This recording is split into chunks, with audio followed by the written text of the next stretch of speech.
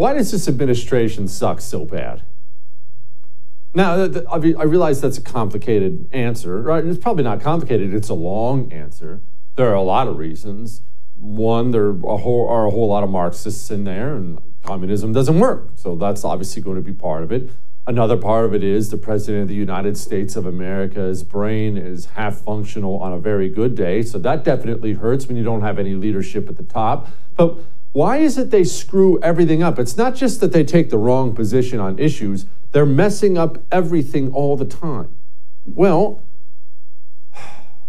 in a late stage republic, when, when you are a nation that has gotten wealthy and powerful, and then you get rich and fat and bored, and you lose any connection to your founding, and you start to go you start to go through that phase where your nation is going downhill. You've hit your peak and you're going downhill.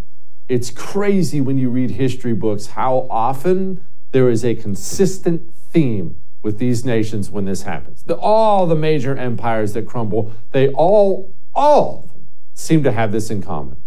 The people who are in charge of running things, whether you're sending a governor out to this province, or you're going to have this guy be in charge of defense, or you're going to, all these positions get handed out for reasons that have nothing to do with their qualifications for that post.